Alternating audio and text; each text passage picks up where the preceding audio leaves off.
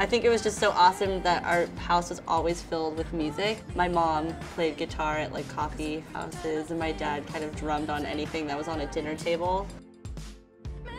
Music changed a lot from when I was growing up to when Alana was Yeah. growing up. I had very eclectic musical taste back then, and then at the same time, Alana was listening to like. Teletubbies. Yummy.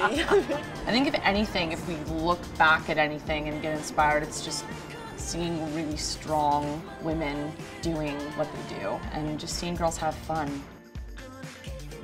DDL made these perfect orange tab Levi shorts, and they were the first thing I ever stole from her. A very specific Levi jean. Can't be too tight, Yeah. Can't be too baggy though. not too baggy. We still have them. They fit perfectly.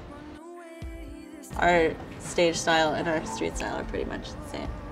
We wore our Levi's almost every show. They've been everywhere. We're, And this is how we live in Levi's.